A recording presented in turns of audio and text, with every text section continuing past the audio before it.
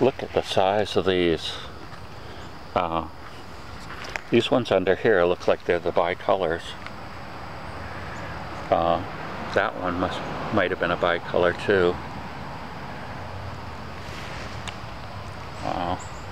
That little bit of rain we had yesterday, the thunder shower really made the mushrooms explode. Here's the stage I like to pick the bicolors at. They're very easy to identify. They have the red bottoms. They have the yellow stem at the top.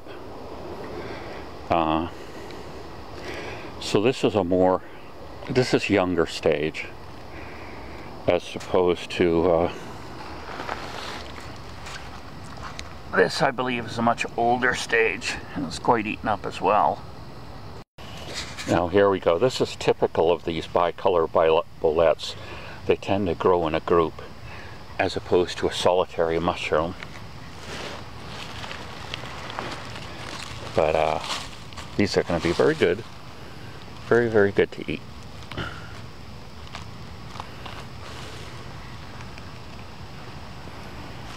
I want to personally thank God for making these all available to me in such a on a trail that is so easy to walk on because I'm mobility limited limited? I can't even talk. Wow. Thank you Lord